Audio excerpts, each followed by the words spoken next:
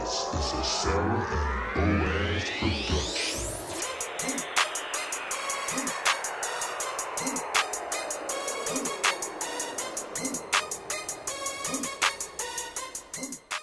When we are back, I am DJ Dr. Wattz. My partner is Lady Jen, and we're back on the series How to Write Lyrics Like a Pro in 10 Easy Steps. And we are on step number six. Uh, we would like to thank you for your likes and your shares and your comments. Just appreciate you guys, and hopefully, that even these short videos will be uh, some information unto you that can take your music to the next level. Today, our question is what quotables are you using in your music? What do you mean by quotables? Things that people already know or that have enough iambic that have iambic pentameter that they cannot forget them and that they are catchy. Not only they can't, they don't want to forget them.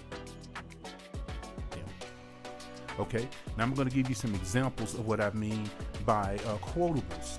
Okay, we're going to take a look over here at uh, azlyrics.com. It's, it's a free resource, and I, I advise that you uh, you go over there and, and just start studying lyrics and see really what's happening. Turn the music off and read the lyrics. Because um, mm, if you was to read uh, Whitney Houston's uh, song, "The Greatest Love of All," it is really uh, a call to self-love and to also a call to love children and to put them first. But also, the song was just about self-love. But the greatest love of all, but a lot of people that just got hooked up in the song and hooked up in the fame and all of that kind of stuff. But I'm telling you, there's a lot more going on in that track than just talking about love. It's talking about self love, the power of self love, and not giving up on yourself. By the way, you can click the link in the description and uh, visit the Patreon page so you can get all of the full length videos, including this entire 10 step series of how to write lyrics like a pro. And they'll be up. We're on number six now.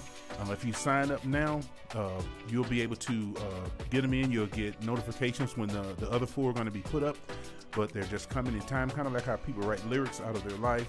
You know, instead of trying to write them all in one day, kind of live the life and let the life bring the lyrics out of you when you're writing a song. It's very interesting when you write one verse one day and then write another verse another day because you could write something that you experience that you didn't experience the last day. So take some time and put um, the you know some time into your lyrics and don't worry about trying to get it all done really quick. Just you know you're going to become a speedier writer once you learn to use certain tools. And this is one of the tools at AZ Lyrics. There is nothing that I do in anything. I do not do anything without research. I'm 100% researching. I'm researching. I'm researching. I'm researching. I'm listening. I'm listening because I'm paying attention to what people are acclimated to. And that's, I think, 99% of the problem of a lot of new artists. They're not paying attention what people are acclimated to, and they're not, they don't understand how to put their expression inside of that. But that's what you will be able to learn. Come over and join the Patreon page. We have all kind of artist tips. Uh, you can ask questions. I can give, you information right on the fly. You see, send me a DM. I'm very quick to answer the DMs. I don't care. Uh, I usually have my phone and my tablet with me. I just pop up the answer in there and through text. Um, I also have a premium chat service and you could you could uh, hit up on the premium chat service. But I think you'll I'll put that one over on the um, the Patreon page. But if you like, I'll put the link down there. And if you just want you just want you know pay pay for some consultation time, you can do that too. We can, I can consult with you about microphones, settings, proximity on your microphone settings, mixing, how to make your mix sound better, how to record your vocals better, uh, what software to use, what mics to use, what programs that that'll help you, even programs that'll work good on a slower computer. So some people don't have the most the fastest computers. So, you know, if you want to do that, then you could just hit me up on the premium chat and I'll be able to answer your questions um, very quickly. We can do it live, and we can do it over phone, or we can just do it text. I'll put the link down there for my premium chat. So now we're getting to this. Uh, what quotables are you using in your music? What quotables? Okay, let me bring this up right here. All right, we over here at azlyrics.com. And this is Whitney Houston. Let me make this bigger so you can see it. Let close this ad out right here. Pop. This is the greatest love of all. And I can't play the song, but I can I can just read it. Okay, now this is what she said. I want you to listen without the music. This is without the music and without the emotion that the music brings and the chord progressions bring to you. I want you to just listen to these lyrics. Okay, I, I'm, you can see them on the screen, and if you can, I'm just going to read them because I know some people are vision impaired. I believe the children are our future. Teach them well. Women teach them well and let them lead the way. If you don't teach them well, they can't lead the way. They're gonna lead you straight into dumbness. Show them all the beauty they possess inside. Show your children how beautiful they are. Don't show them how bad they are. Show them how beautiful they are because they're learning. Give them a sense of pride to make it easier. Let the children's laughter remind us how it used to be. Don't forget, everybody's searching for a hero. People need someone to look up, up to. People need someone to look up to. I never found anyone who fulfilled my needs. Very important right there. I never found anyone to fulfill my needs, a lonely place to be. And so I learned to depend on me. I decided long ago never to walk in anyone's shadows. If I fail, if I succeed, at least I'll live as I believe. No matter what they take from me, they can't take away my dignity because the greatest love of all is happening inside of me. I really honestly believe that is something that we all need to be taught before we learn before we go into the adventure of going into relationships. The love you need is has to come from you. You have to give love, not find love. Because when you're giving love and they're giving love, it's just an amazing thing. Because when you have the love inside of you, you're not dependent on someone to keep ratifying you day after day after day after day after day after day after day. You understand because you love yourself and you love them. Plus, when you love yourself, there's certain things you won't do to people because you're in a certain spiritual state that just won't allow you to do that. Okay, now let's go ahead and see the greatest love of all is easy to achieve. Okay, I believe the children are our future. That was a very common old statement. When you write songs that have common threads in them that either people can pick up or that's already in folklore or idioms, it makes the song uh, be it how can I put it like that? It soaks into the mind easier. They're easy easier to index. Okay, let's go ahead and look at Swedish House Mafia. Don't You Worry Child, one of my favorites ones. Now, this was very descriptive. Now, check this out. There was a time I used to look into my father's eyes. In a happy home, I was a king, I had a golden throne. Those days are gone. Now, the memories are on the wall. Now, check out how he used the word king and the word golden throne. Or whoever wrote this, she wrote, look at how they use it. I don't know who wrote this.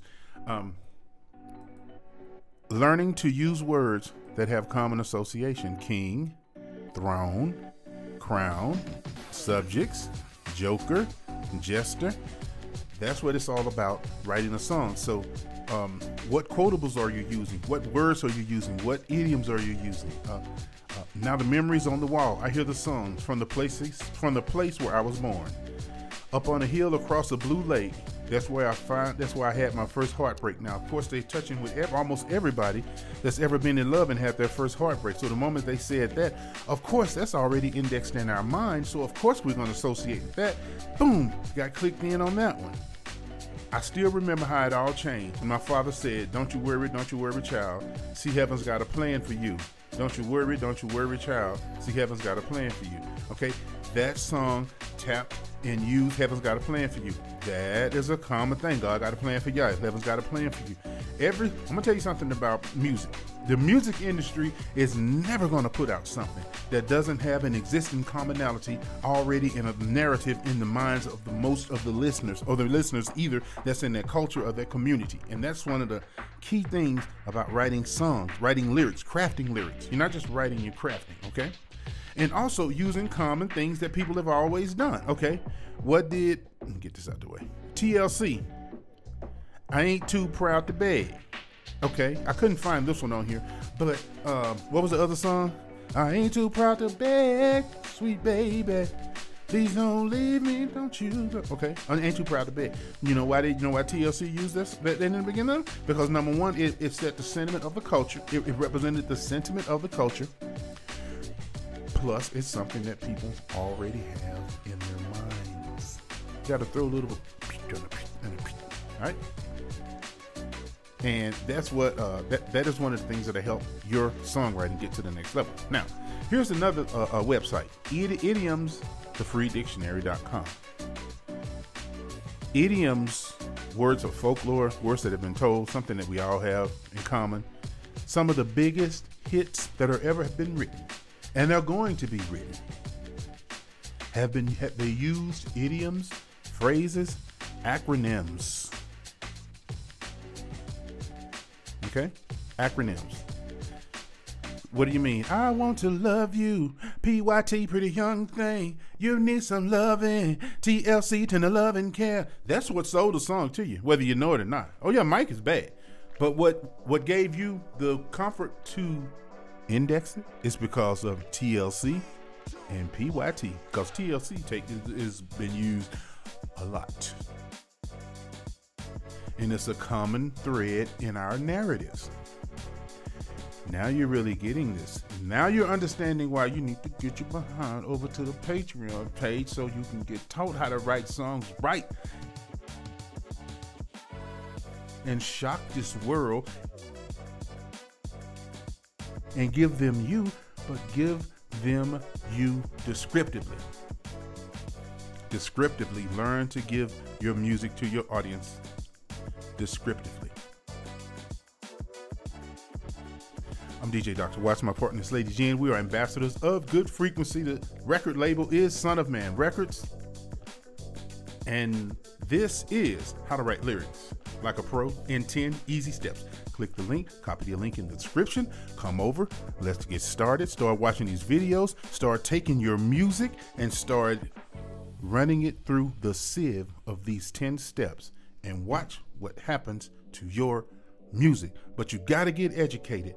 I don't care how good you are in music. I've been in music since I was five years old. I am excellent in music, but you still got to be excellent in delivering people what they want to hear. Because as I say, there's only two types of music in this world the type of music that people want to hear, and the type of music that people don't want to hear. Y'all have a beautiful day. Peace.